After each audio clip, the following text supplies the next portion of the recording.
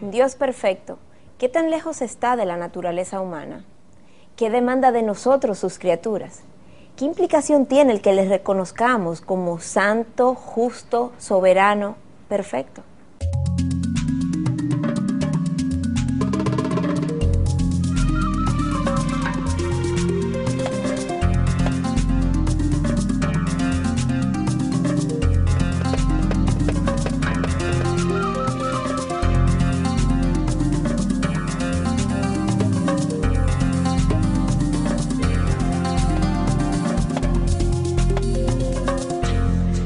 Bienvenidos a esta nueva entrega de respuestas donde estudiaremos en el día de hoy el carácter de Dios. Miguel, ¿cómo te encuentras? Muy bien y de hecho muy, muy entusiasmado con este tópico acerca del carácter de Dios. Quizá uno de los tópicos que realmente más me entusiasman.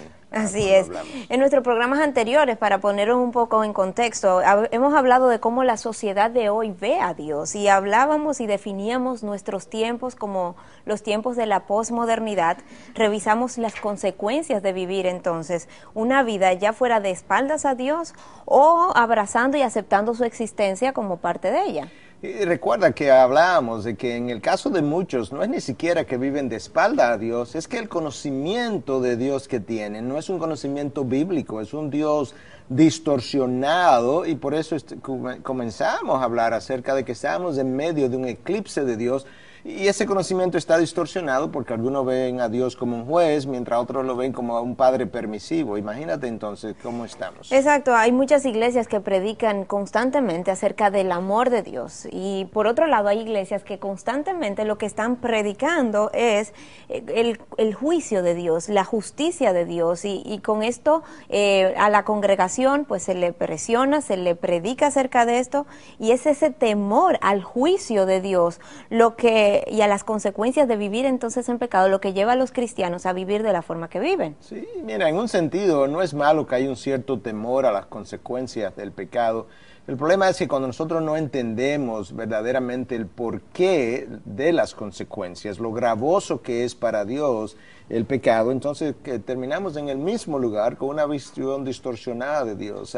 El cirujano no quiere ningún nivel de contaminación en su sala de cirugía. Dios es más, más quisquilloso todavía, su santidad sí lo demanda. Así es, hablas ahora de la santidad de Dios, algo que cuando pensamos en el término de santidad, eh, en muchas ocasiones muchos piensan que, que Dios es tan santo, es tan perfecto, es tan distinto del hombre, que de hecho se alejan de Dios, precisamente por este atributo de Dios. Bueno, mira, lamentablemente el, ser humano ha hecho de, no ha tenido la visión correcta de su santidad. O sea, como que piensan que no hay nada en común entre ese Dios y yo y por tanto no, no puedo relacionarme con él. Bueno, mira, a veces esa santidad hace que el humano se, se atemorice y se ahuyente pero no le dura, ese efecto no le dura. Y, la, la, forma como lo puedes ver es la condición moral en que nosotros vivimos. Lamentablemente. El cristiano incluso. muchas veces el cristiano, la condición moral de nuestra sociedad habla mucho de eso. Ah, Dios se ha quejado incluso de cómo el cristiano, y el, cuando Él se queja, se está quejando del cristiano en el Antiguo Testamento. En el Salmo 50, versículo 21, Dios dice, tú pensabas que tú eras tal cual como tú eres, tal que yo era como tú eres, esa es la, queja. Que están como rebajando a Dios. Claro, tú me estás, tú me estás humanizando. Y cuando hacemos eso, eso tiene graves consecuencias. Pero no es esto, Miguel, como un mecanismo de defensa para que el hombre pueda relacionarse más cerca, para tener una relación más cercana a Dios. Él, él trata de humanizar a Dios entonces. Yo no creo que la razón por la que el hombre reduce a Dios es tratando de relacionarse con Él. No, Él reduce a Dios porque Él quiere ser un Dios que esté formado, que esté diseñado a su conveniencia. Y esa es la razón por la que el ser humano muchas veces humaniza a ese Dios. Cuando lo humaniza, ¿qué tipo de relación entonces tiene con él? ¿Qué busca este, este ser humano al humanizar a Dios? El, problema de humanizar a Dios es, es, es, múltiple, pero una de las cosas que ocurre es que tú vas a adorar a Dios como tú lo concibas. Cuando tú lo humanizas, así mismo tú le vas a dar esa adoración ah, humanizada a Dios y eso, eso tiene problemas graves y consecuencias graves en la vida diaria del creyente. En la vida de adoración del creyente, Miguel. Así es, en la vida de adoración. Cuando hablas de adoración, ¿a qué te refieres? Yo sé que muchos en que nos están viendo quizás no han examinado lo que es este término, lo que conlleva la adoración y es por eso que eh, aprovechamos este momento para irnos a nuestro segmento de Así Dicen con esta pregunta precisamente, ¿en qué consiste la adoración? ¿Qué conlleva para el individuo? ¿Cómo adoro a Dios? En medio de humanizarlo, cómo lo acabo rebajando o cómo lo exalto en adoración.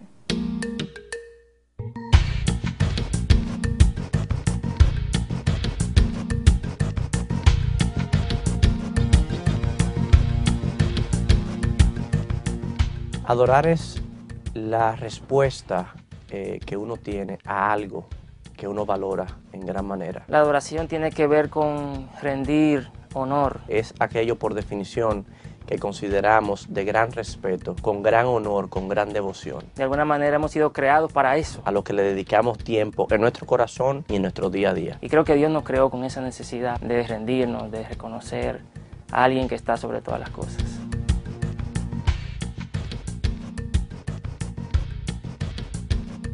El Dios de la Biblia se adora por lo que Él es, un Dios creador, excelso, infinito. Y por sobre todo, es el único Dios que se ha hecho carne y que ha venido a esta tierra, anduvo, caminó, murió, y no solamente que murió, sino que también resucitó al tercer día. La adoración y el postrarse ante Dios, ante el Dios creador, eh, ha sido algo que ha caracterizado los hombres y el pueblo de Dios. Él ha creado todas las cosas. Hay tantas cosas por, por, ¿Por qué adorar a Dios? Por agradecimiento a Él, por, nuestra salvación y también lo que Él ha hecho en nuestras vidas una vez lo hemos, conocido. Él es el único Dios que ha demostrado ser el verdadero Dios, el creador del cielo y la tierra y por eso Él es digno de adoración.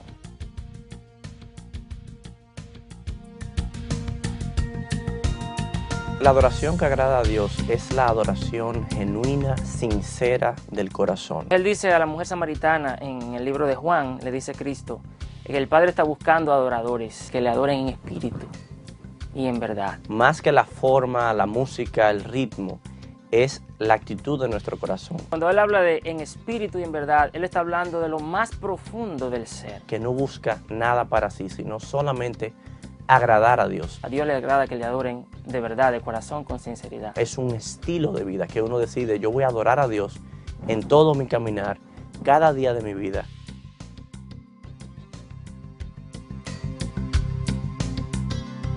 Las consecuencias yo diría que nos aleja de Dios, quizás el Espíritu Santo es contrito en nosotros. Cuando una persona intenta adorar a Dios y lo hace incorrectamente, pierde el foco principal de la razón por la cual ha sido creada. Un corazón transparente porque Dios ya sabe lo que hay en nuestro corazón. Por ende, vengamos delante de Él de forma genuina a traerle lo mejor de nuestro corazón. Si estamos viviendo una vida que no le agrada, pues aprovechemos ese momento.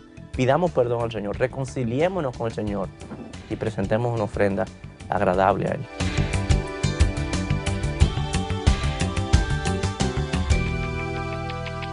Opinas, Miguel?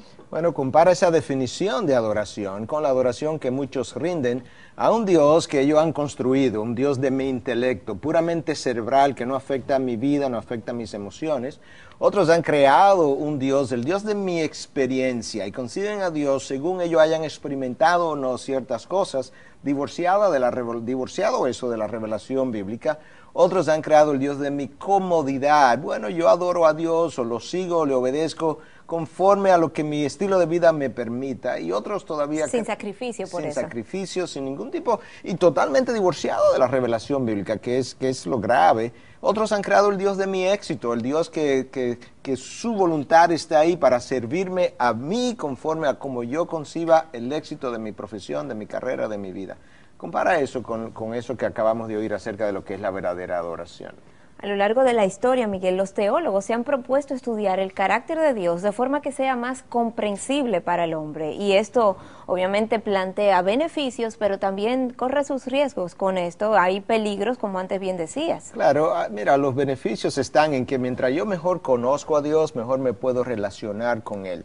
El peligro estaría, Patricia, en que en, llegar a, creer que porque estoy estudiando su carácter, una vez yo termine de estudiar su carácter, que Dios va a ser una figura completamente comprensible para nosotros. Y en ese caso, estamos reduciendo a Dios una vez más. Él es infinito y yo soy finito. Si reduces a Dios, tú pecas. Si tú tratas de hacer de Dios una figura predecible, tú pecas. Si tú, tratas, si tú distorsionas a Dios en el proceso, tú pecas. Te das cuenta entonces que hay peligros potenciales y reales en este estudio de su carácter. Tenemos que ser cuidadosos. Y qué bueno entonces el momento para irnos a nuestro segmento de opiniones y preguntarle a la gente, ¿qué opina? Si es posible tener intimidad con Dios, porque estamos llamados a tener una comunión con Dios. ¿Es posible llegar a tenerla? ¿Cómo, ¿Cómo se logra esto? ¿Cuáles son las formas de llegar a tener esa intimidad, esa comunión con Dios?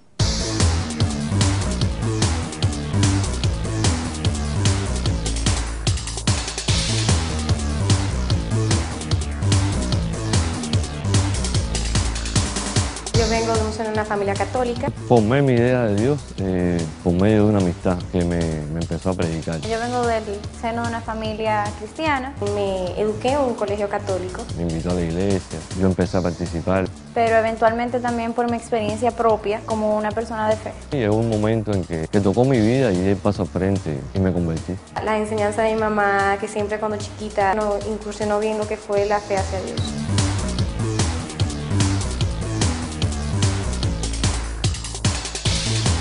Bueno, que Él está en todas partes. Es omnipresente. El sacrificio que tuvo hacia nosotros. Omnisciente. Su amor, que lo sigamos con obediencia. Su misericordia. Omnipotente. Su benevolencia, su grandeza. Se complace en la verdad y no en la mentira.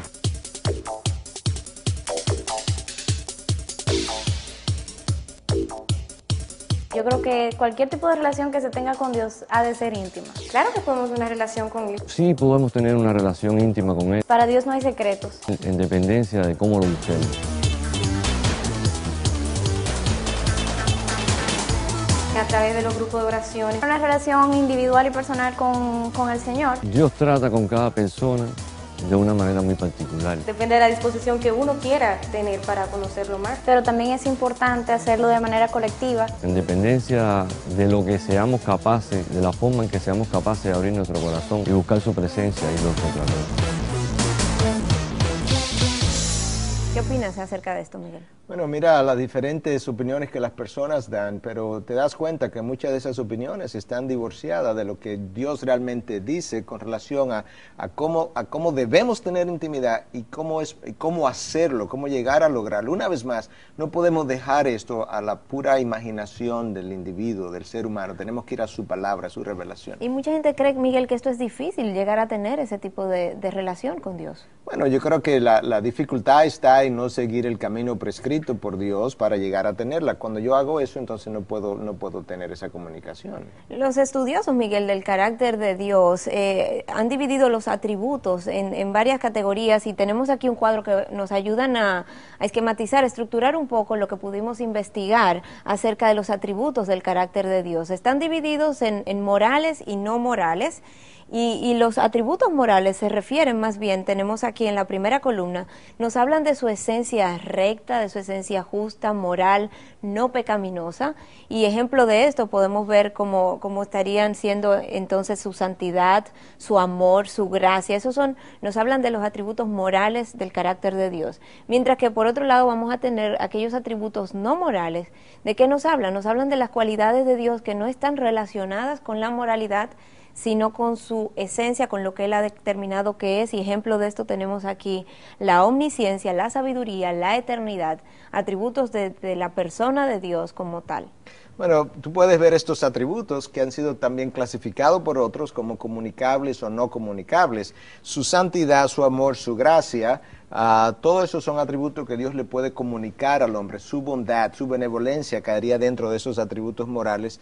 Los atributos no morales también han sido clasificados como no comunicables, que ahí tú estarías hablando no solamente de su omnisciencia, sabiduría, eternidad, pero también su omnipotencia, a su omnipresencia. Esas cosas Dios no se las puede comunicar a las criaturas y de ahí que hayan sido llamados no comunicables. ¿Es demasiado para la mente del humano entonces entender esto? Bueno, yo creo que hay un nivel de entendimiento que podemos tener siempre y cuando querramos abrazar lo que Dios ha revelado con relación a esto, pero nunca lo finito que somos nosotros podrá entender cabalmente lo infinito que es Dios.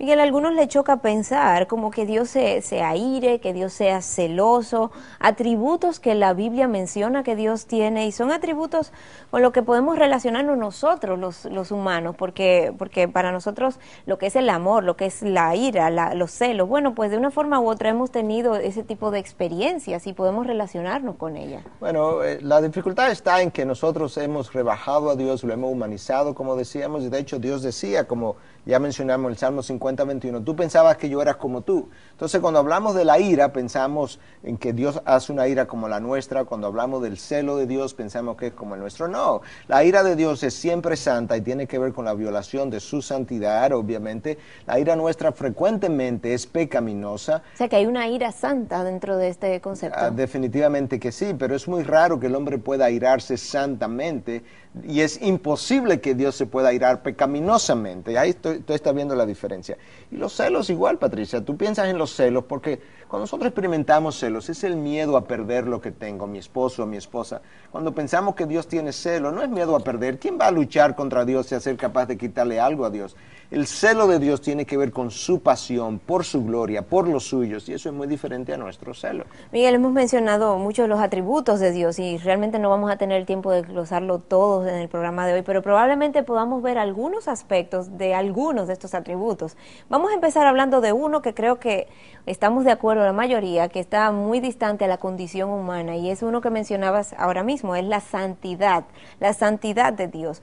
Como que se sobreentiende que Dios es santo, que Dios y, y que por tanto eso es lo que lo hace Dios, que Él es santo y que nosotros jamás seremos como Él en santidad. Bueno, si la idea es que si yo voy a llegar a ser tan santo como Él, no, Él es único en su clase, en todo. Pero no hay duda, Patricia, de que no hay forma de que yo pueda relacionarme con Dios a menos que yo experimente cierto grado de santificación. En el hebreo, um, de hecho, la palabra de Dios dice que sin santidad nadie verá a Dios y, y eso nos da a nosotros una idea de lo Un necesario. prerequisito, entonces, la- la santidad. Claro, para comunicarme con Él. Todo lo que se relaciona con Dios es llamado santo. Su palabra es santa, los ángeles son llamados santos, su espíritu es santo, Jerusalén como su ciudad es llamada la ciudad santa. Yo necesito tener cierto grado de santificación. En el hebreo hay dos palabras claves que son traducidas como santo. La primera de esas palabras es Godesh y la segunda es Gadosh. Muy similares. Muy similares. Godesh implica el estar separado, algo diferente, distinto al resto. Y Gadosh significa sagrado, algo que es santo o puro y que nos habla de la ausencia total de corrupción en la persona o el carácter de Dios. O sea que santo, cuando hablamos de la palabra, el término santo puede significar separado o sagrado, pureza. Precisamente, Miguel, esto es lo que hace que muchos cuestionen este mandato, porque ausencia de corrupción, o sea, la, la pureza, eso sagrado, esa separación, es como un imposible que solamente Dios puede llegar a obtenerla. Bueno, hay un nivel de santidad que es alcanzable para el ser humano. Obviamente no es la santidad absoluta de Dios, pero hay un nivel de santidad que es alcanzable. Y cuando ese nivel nosotros no lo exhibimos, Dios tiene esa, Dios reacciona a esa, esa no santidad. ¿Lo juzga eso? Lo juzga y, y aplica esa justicia. De hecho, uno de los pasajes quizás ah, menos conocido por muchos aparece en el libro de, de, ah, con relación a los hijos de, de- de Aarón. En el Levítico. En- aparece en el libro de Levítico, que es el libro de los sacerdotes precisamente. Y estos son sacerdotes, hijos de Aarón, Nadab y Abiú. Hijos de Aarón tomaron sus respectivos incensarios y después de poner en ellos fuego y echar incienso sobre él, ofrecieron delante del Señor fuego extraño que él no les había ordenado, y de la presencia del Señor salió fuego que los consumió y murieron delante del Señor. El texto continúa diciendo, entonces Moisés dijo a Aarón, esto es lo que el Señor habló diciendo. Como santo seré tratado por los que se acercan a mí, y en presencia de todo el pueblo seré honrado. Estos hijos habían sido ordenados al sacerdocio y en medio de una experiencia de adoración que Dios consideró inapropiada, son, ah, son carbonizados, son o sea que consumidos murieron. por fuego. Cuando dice ahí fueron consumidos, fue que murieron instantáneamente por eso. Absolutamente, por fuego, carbonizados por Dios, en medio de una experiencia de O adoración. sea, ellos estaban ofreciendo sacrificio a Dios y es Dios quien los mata inmediatamente a ellos en ese momento. Cl- Claro, porque había, oye la expresión, ofrecieron un fuego extraño. La mayoría de los teólogos concuerdan que posiblemente este fuego extraño fue un incienso que fue ofrecido a Dios que ellos no estaban autorizados para ofrecer. O sea, en ese momento el tipo de sacrificio que se le ofrecía a Dios era de incienso. Uno de los sacrificios, y dice el texto que ellos tomaron sus incensarios ah, respectivos, de manera que eso es lo que nos da una idea, que fue un incienso ah, inapropiado que ofrecieron a Dios. Ah, Dios había revelado cómo, cómo, adorarle. Miguel, comentábamos acerca de la santidad de Dios y cómo la violación a esa santidad, a sus decretos, a sus mandatos, de forma exacta como Él lo prescribe, tiene penas severas, severas que en el Antiguo Testamento llegaron a llevar hasta la muerte a los hijos de un sacerdote de, Aarón. Entonces me pregunto, ¿cuál, por qué, el porqué de la severidad de esta pena? Bueno, mira, en, parte necesitamos entender que Dios ah, conoce perfectamente bien que cuando le perdemos el miedo a su santidad, le perdemos el miedo al pecado. Cuando le perdemos el miedo al pecado, nos extraviamos y al extraviarnos nosotros sufrimos las consecuencias del extravío. De manera que es realmente en nuestro beneficio que Dios no, no debe perder el miedo a su, mejor dicho, no nos deje perder el miedo a su santidad. Nos beneficia a nosotros eso, ese temor. ¿Quién pensaría, Miguel, que algo tan sencillo como el uso o no de un tipo de incienso o no, que fue el caso del, de los, del sacerdote de Aarón, de los hijos de Aarón, les llevaría a perder la vida entonces? Bueno, es que nosotros vemos algo sencillo porque lo vemos como un incienso, un humito con un cierto olor y ese no es el punto. El punto es lo que Dios había ordenado con relación a su incienso. Míralo aquí en el libro del Éxodo capítulo 30, versículo 37 y 38. Y el incienso que harás, no lo haréis en las mismas proporciones para vuestro propio uso, te será santo para el Señor. Cualquiera que haga incienso, incienso como este, para usarlo como perfume, será cortado de entre su pueblo Dios está tratando de establecer la diferencia entre lo ordinario del hombre y lo extraordinario de Dios. Si esa línea no se mantiene, el hombre va a terminar violando su ley y pagando las consecuencias y, sufrimiento de sus violaciones. Miguel, antes hablabas de que la palabra santidad en el hebreo significa separado. Y quizás si alguien piensa que, que esta palabra de santidad es igual a ella, entonces puede concluir que cumplir con el mandato de santificarnos va a significar que físicamente nos vamos a tener que separar, que alejar de la civilización que nos rodea, porque está contaminada, porque hay pecado en ella, porque, porque de, alguna, de alguna forma u otra hay una falta de pureza en todos los medios que nos movemos. Bueno, mira, sigamos pensando acerca del incienso todavía. Si el incienso, algo tan sencillo como eso, fue hecho con una fórmula especial que solamente fuera dedicada a Dios, ¿No crees que nuestras vidas debieran uh, oler de una forma diferente al resto, verdad, que no conoce y no vive conforme al patrón de Dios? Nosotros somos el templo de ese Espíritu Santo. ¿Esa sería la separación en nuestras vidas bueno, entonces? nuestra separación realmente no es que nos vamos a separar de la civilización, pero nosotros necesitamos uh, en ocasiones determinar que hay ciertos lugares que no voy a visitar, ciertas asociaciones en las que no voy a entrar y en eso consiste en gran medida esa separación. O sea, que no es que va a implicar que vamos a vivir una vida en un monasterio alejado de toda la civilización. Absolutamente que no. Mira, el llamado nuestro es, ser sal y luz. Yo necesito vivir mi vida de santidad en medio de un mundo de pecado y que yo pueda entonces en medio de ese mundo ser sal y luz y servir de ejemplo y servir de reflejo del carácter de Dios a ese mundo que no le conoce. Pero habrán lugares entonces donde no podremos ir. Así es, Patricia. Hay lugares donde el cristiano que verdaderamente conoce a Dios y tiene a Dios en su interior no debe visitar porque es ofensivo para la persona de Dios. Y es entonces, Miguel, esta santificación lo que nos va a poder nos va a permitir entonces cosechar, digamos, los beneficios de vivir alejados del pecado, de vivir fuera, digamos, de, de, donde está la contaminación pecaminosa. Sí, mira, mira, cómo es que Dios ha ordenado esta santificación. Él dice, sed santos porque yo soy santo. La mayoría del creyente, del incrédulo ni digamos, pero del creyente, Ah, vive tratando de cumplir ciertos preceptos de la ley de Dios por temor a las consecuencias. Pero este texto que yo te acabo de decir, que es repetitivo múltiples veces a lo largo de, la palabra, santo porque, yo, soy santo, ah, lo lee en Levítico, el libro de los, de los sacerdotes, pero lo lee en varios otros libros de la Biblia. Oye lo que dice, que la razón, la motivación número uno para ser santos no es el miedo a las consecuencias, es el hecho de que Dios es santo y si yo voy a representarlo, me voy a relacionar con Él, no puedo hacerlo de otra manera que no sea santamente el no cosechar consecuencias no es la motivación para ser santos, es el beneficio de ser santos, es un resultado natural de mi santificación. Pero hay una condición ahí, Miguel, que bien reconoce como algo que hace la mayoría y es que buscan esa santidad por temor a las consecuencias y no porque Dios es santo. ¿A qué atribuyes entonces esto? Porque vivimos centrados en nosotros, Patricia. Lo que nos importa es lo que nos pasa a nosotros y solamente a nosotros. Por tanto, como no quiero que me pasen consecuencias, si tengo que ser santo, bueno, lo voy a hacer para librarme de esas consecuencias.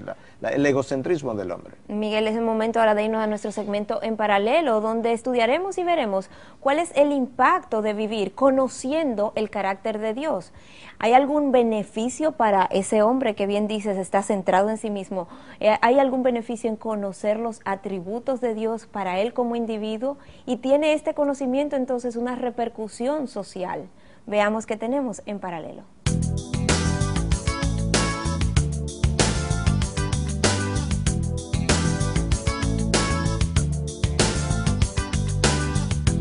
El poder de Jesucristo no tiene barreras ni espacio. Quienes llegan a conocerle como Señor y Salvador experimentan su poder transformador, alterando su forma de ver la vida. Por ejemplo, los apóstoles quienes al encontrarse con Cristo resucitado cambiaron radicalmente y defendieron su fe deseosamente, incluso enfrentando la muerte. En nuestros tiempos, el impacto de Cristo es tan real como lo fue en los tiempos antiguos. Ningún otro líder ha transformado de tal forma a sus seguidores que hasta comunidades enteras han sido cambiadas. Veamos algunos ejemplos de comunidades transformadas por el poder de Dios. Kiambu, Kenia. Hacia finales de 1980, este angustiado suburbio de Kenia, en África, se había convertido en uno de los lugares más peligrosos y opresivos. Asesinatos, violaciones, nadie se atrevía a salir de noche. Después de años de esfuerzos en esta población de 65 mil habitantes, ninguna iglesia había podido crecer más allá de unas cuantas docenas de miembros. En 1988, Thomas Moody y su esposa Margaret sintieron el llamado de Dios para ir a Kiambu, a construir una iglesia.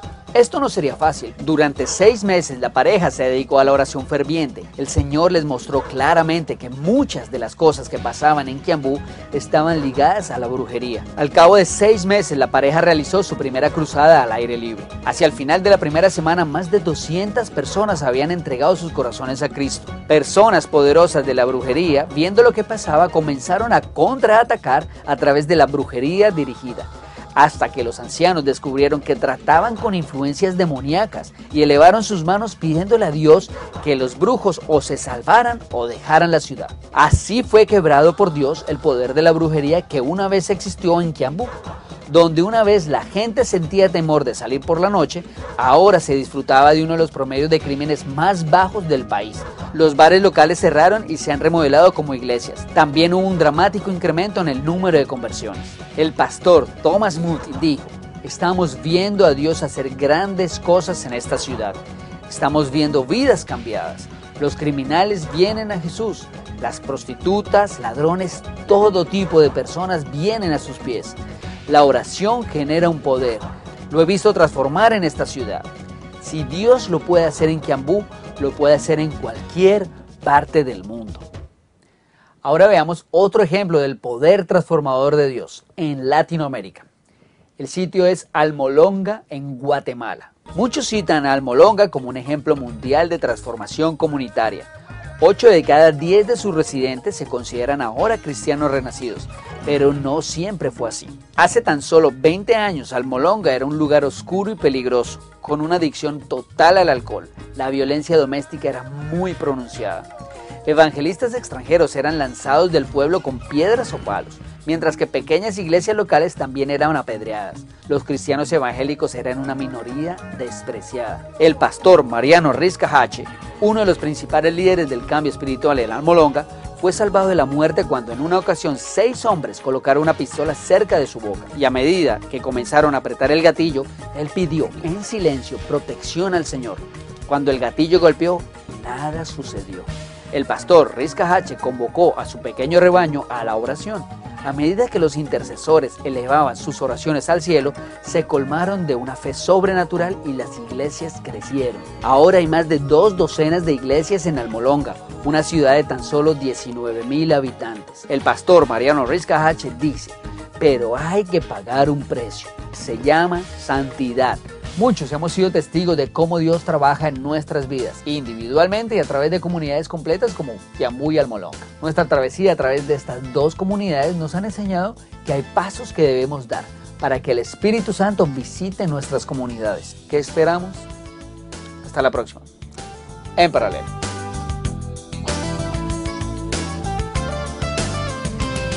Sorprendente, Miguel, cómo el conocimiento de Dios puede tener impacto aún socialmente hablando. Definitivamente, de hecho, si no hay un impacto social, yo dudo mucho que la comunidad que vive en ese, en ese lugar realmente conozca a Dios. Necesariamente cuando el conocimiento de Dios impacta las vidas, eso va a impactar la sociedad. Independientemente de que todos se conviertan o no, Miguel. No, yo no creo que todos se van a convertir nunca, pero Dios es suficientemente poderoso para usar a un puñado que verdaderamente le conozca para crear un impacto en su sociedad. Miguel, el creyente del Antiguo Testamento, ese creyente que vivía con mucho miedo de acercarse a Dios, hasta tal punto que ni siquiera pronunciaban el nombre de Jehová, usaba otras palabras para referirse a Dios como Señor, como Adonai.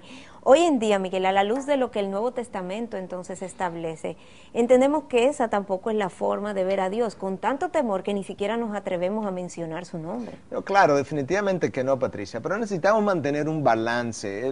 Desafortunadamente, como hemos dicho, vivimos en un péndulo continuamente, entonces el péndulo hoy se ha ido al otro extremo. Hay poca apreciación hoy en día por lo que es la santidad de Dios. Se trivializa. Absolutamente, desde los púlpitos tenemos a un Dios totalmente trivializado. De hecho, Erwin Lutzer escribió un libro que se llama, ah, perdón, no Lutzer, pero hay un libro que se llama La trivialización de Dios, precisamente, que no recuerdo su autor, pudiera ser Lutzer, pero es un libro donde literalmente se nos habla cómo el mundo de hoy ha, llegado a, a, a reducir a ese Dios y entonces no hay una apreciación por su santidad. Y ahora Dios es como mi pana de al lado, ¿verdad? Como mi amigo preferido, mi, mi, mi, un compañero. Un compañero cual, como cualquier otro. Miguel, volviendo al ejemplo de los hijos de Aarón, esos jóvenes sacerdotes que fueron calcinados al momento de ofrecer sacrificio a Dios.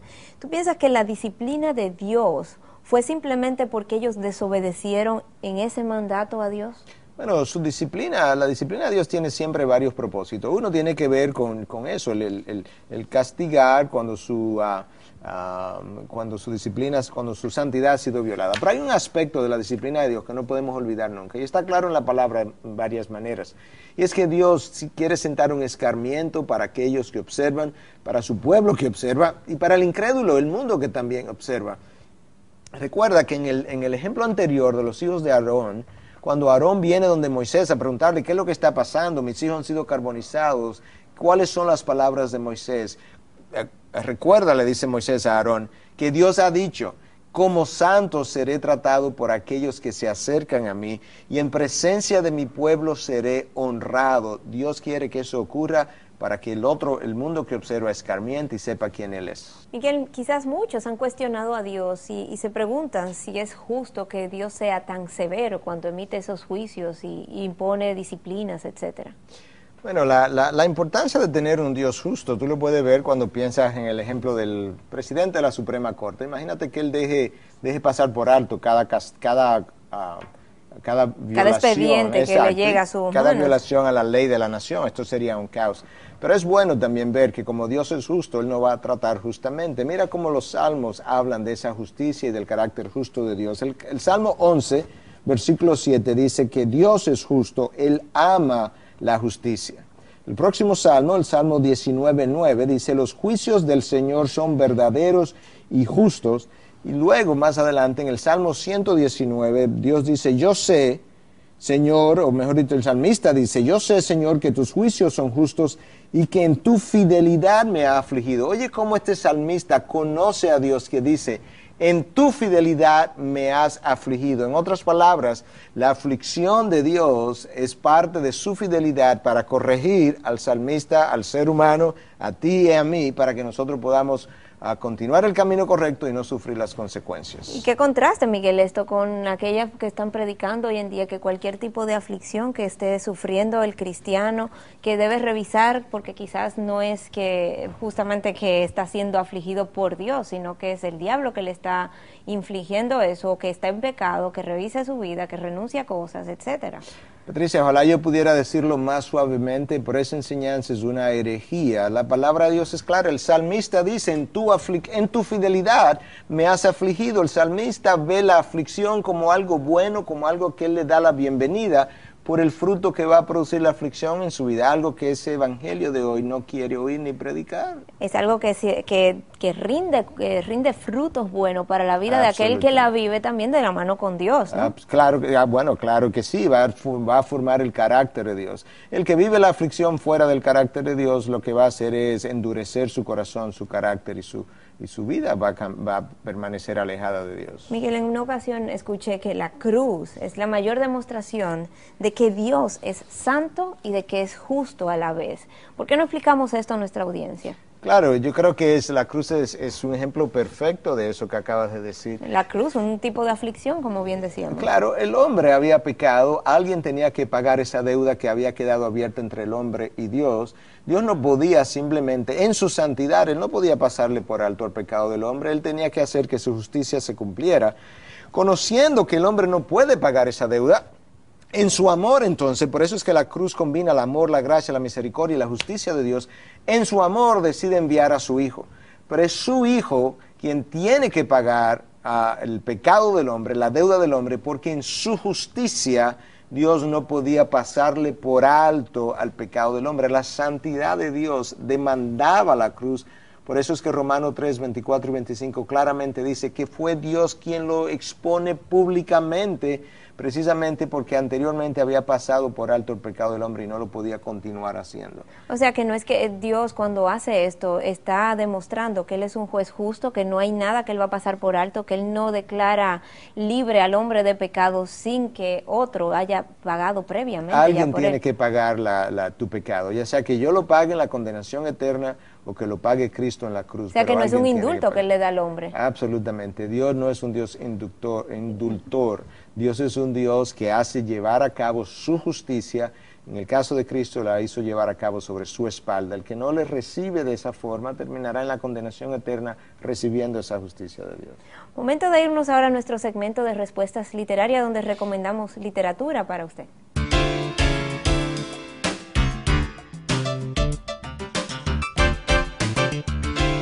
Tenemos dos grandes autores y para felicidad de nuestra audiencia están en español ambas obras que estamos recomendando hoy. Sí, la primera es ¿Quién es este Rey de Gloria? Escrito por Tony Evans, un pastor norteamericano que predica con mucha chispa y él ha hecho un libro acerca de el carácter de Jesús, uh, sus oficios, sus funciones, pero nos habla muy claramente de la santidad de este Cristo, el Hijo de Dios, Dios mismo, la segunda persona de la Trinidad, en un lenguaje sumamente llano yo creo que aquellos ¿verdad? Que, que no disfrutan de las obras con un lenguaje sumamente teológico, pero si quieren algo bíblico van a disfrutar de esta obra. Y así dice, como es aplicado para nuestras vidas este conocimiento, él, él, le da el enfoque para aplicación a nuestras vidas. Claro, definitivamente que sí. La segunda obra es de A.W. Pink y nos habla de la soberanía de Dios. Sí, Pink es un hombre que siempre escribió centrado en Dios de una manera extraordinaria Ah, y si hay alguien que verdaderamente le ha puesto el dedo a la llaga en lo que tiene que ver con la soberanía de Dios, es este autor.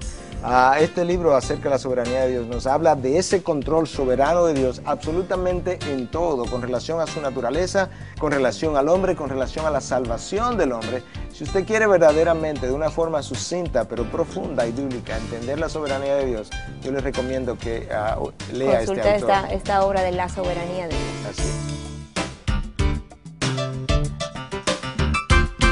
Hablamos, Miguel, de la santidad de Dios, hablamos de la justicia de Dios y a propósito justamente de esta última obra que vimos, vamos a hablar ahora de otro atributo de él, su soberanía, también llamada providencia divina, aquel atributo que nos dice que todo lo que ocurre está permitido directa o indirectamente por Dios. Mira, eso es uno de los atributos que pudiéramos pasarnos varios programas analizando, pero es una doctrina que lamentablemente hoy no está muy de moda y sin embargo en años atrás era una, doc una, doctrina altamente proclamada. Algunos le tienen miedo a la doctrina y no quieren proclamarla pensando que si la enseñamos entonces el hombre va a pensar que no tiene que hacer nada porque Dios es quien lo hace todo. Y eso es muy típico ahora, ¿verdad? No querer proclamar esa doctrina de la soberanía de Dios, su control absoluto sobre todo de un orquestador de todo lo que ocurre en su universo, eso es muy típico hoy en medio de una generación que ha hecho de Dios, ¿qué cosa? Ha hecho un Dios que le sirve al hombre, que vive para la gloria del ser humano, que está al servicio del hombre, un Dios que vive, está a expensa de nuestros planes. Y, de nuestros sentimientos y de también. Nuestras emociones y sentimientos. Miguel, pero la realidad es que cuando decimos que Dios es soberano, muchos interpretan bien como lo decías, que interpretan que el hombre tiene una licencia para vivir como le da la gana. Porque al final de cuentas, haga o no haga, lo que va a acontecer al final va a ser lo que es la voluntad de Dios, que siempre se cumple. Entonces, de esa forma, él, él, él entiende como que él no tiene nada que hacer bueno, la, la, palabra de Dios afirma dos cosas. Una, que Dios es soberano y literalmente todo el mundo va a terminar haciendo su voluntad, pero afirma al mismo tiempo que el hombre es responsable. Ahora, hay un cierto, un cierto libre albedrío que el hombre tiene para actuar en su vida, pero donde ese libre albedrío del hombre choca con la voluntad de Dios, obviamente lo que va a prevalecer no es la voluntad del hombre, va a prevalecer la voluntad de Dios, que es buena, agradable y perfecta y que es orquestadora de toda la historia. Siendo Dios soberano, Miguel, muchos se preguntan entonces, ¿dónde empieza, dónde termina la responsabilidad del hombre? ¿Qué hace el hombre en el interín, digamos? Bueno, quizás una forma de resumirlo es que nosotros debiéramos uh, trabajar y hacer todo como si todo dependiera de nosotros pero descansar en paz como si todo dependiera de Dios. Yo creo que hay un buen balance. Un balance. Eh, yo creo que mucha gente no cree la soberanía de Dios, no la, la, niega incluso y sin embargo, mira cómo viven, que cuando viene un huracán se ponen a orar para que Dios desvíe el huracán, Obviamente, si tú te pones a orar para que Dios desvíe el huracán, es porque tú entiendes que Dios tiene control sobre ese huracán.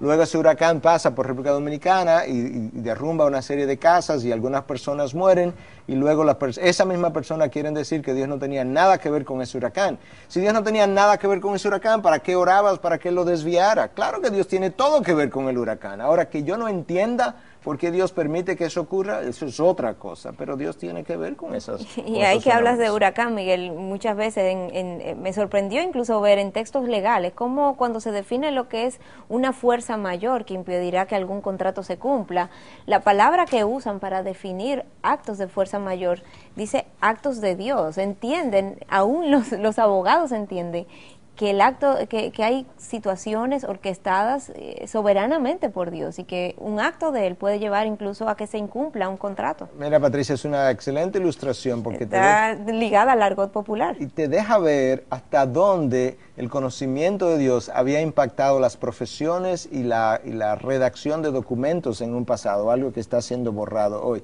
Pero independientemente de lo que los documentos digan, ¿verdad? Como esos que menciona, lo importante es qué dice la Biblia. Y hemos traído una serie de citas que yo quiero leerla una detrás de la otra para que veamos cómo la Biblia categóricamente afirma la soberanía de Dios. Génesis 1.1. En el principio Dios creó los cielos y la tierra. Hebreos 1.3. Él sostiene todas las cosas por el poder de su palabra. Efesios 4.6. Él está por encima de todo. Continúa la próxima cita. Isaías 46, 10. Yo declaro el fin desde el principio y desde la antigüedad lo que no ha sido hecho. Eso dice el Señor. Exactamente. Isaías 40, 22. Él es el que está sentado sobre la redondez de la tierra, cuyos habitantes son como langostas. Salmo 115, 3. Él hace lo que le place y continúan las citas. Efesios 1, 11. Él obra todas las cosas según el consejo de su voluntad.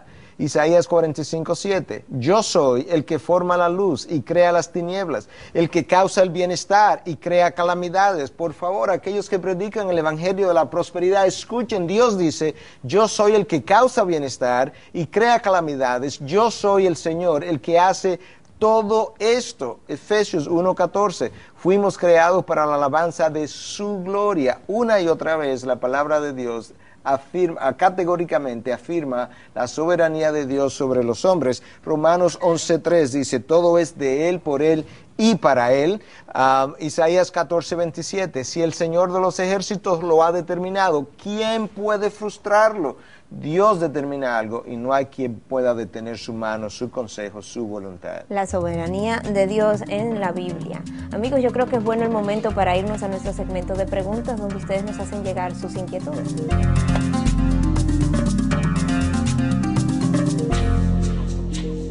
Agradeciendo que hayan tomado el tiempo para escribirnos y hacernos llegar sus inquietudes. Hoy vamos a revisar dos de ellas. Dice la primera, ¿por qué si Dios nos ama nos suceden tantas cosas malas?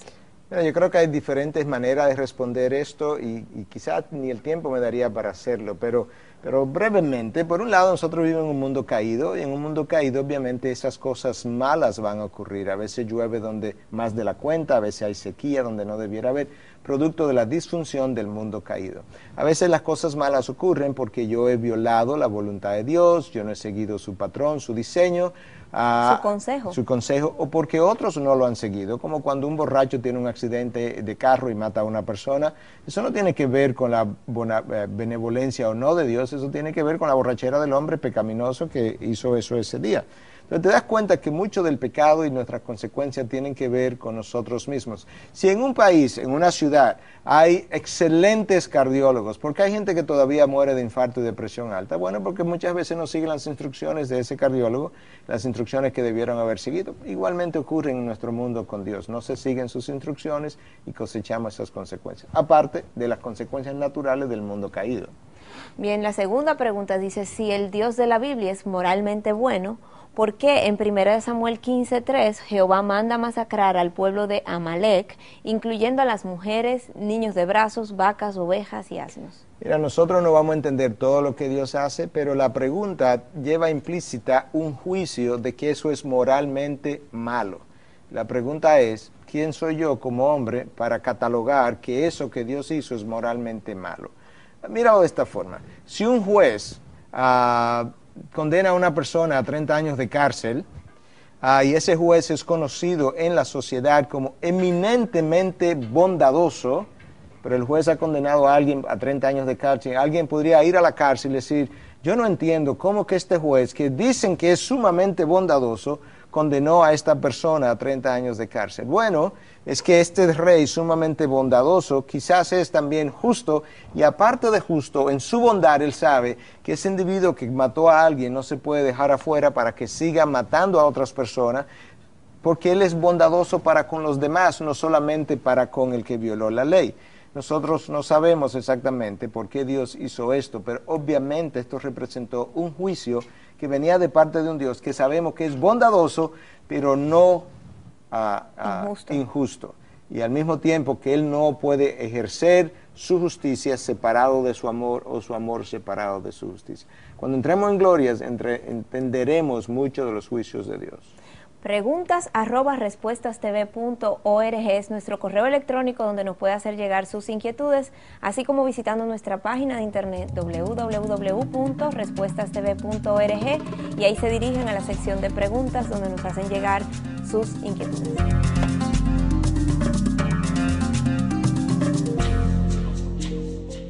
Miguel, en ocasiones el creyente mismo no conoce esa soberanía de Dios, no la entiende en ocasiones, no la viven y todo esto le da como una sensación de ansiedad, de, miedo en ocasiones, no sabe cómo caminar, cómo, a qué, sobre qué pasos ir.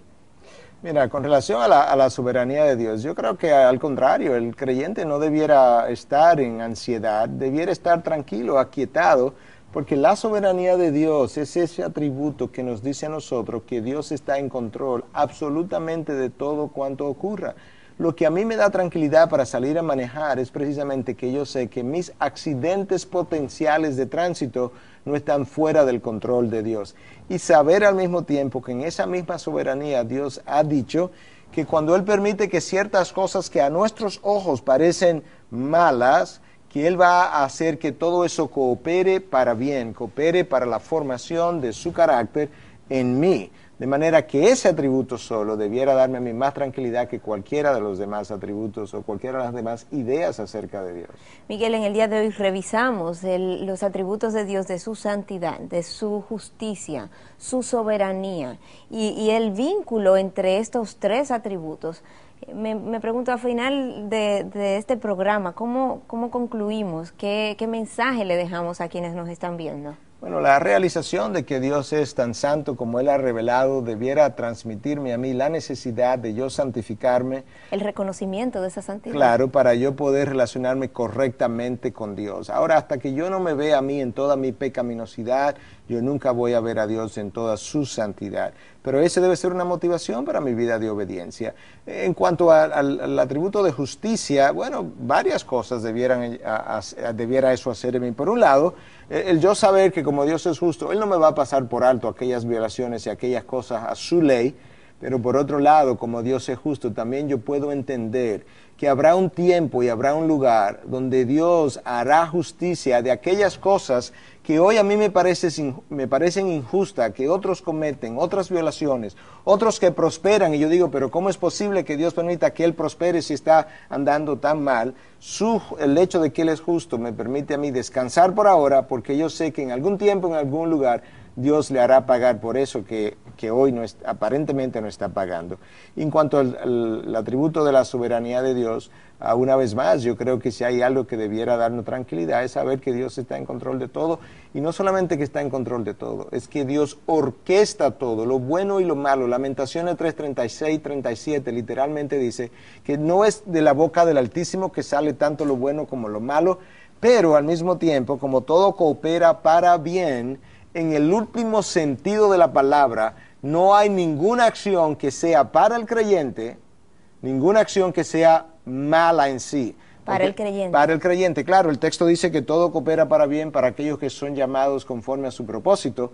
Entonces, para el creyente, aún aquellas cosas que parecen muy malas, hay un beneficio ulterior, posterior, que será visto. Lo peor del hombre, de la historia del hombre, fue la cruz del Hijo de Dios, de Dios mismo. Y sin embargo, no ha habido ningún otro hecho que le haya traído al hombre más beneficio que esa cruz. Dios orquesta lo malo para traer un bien.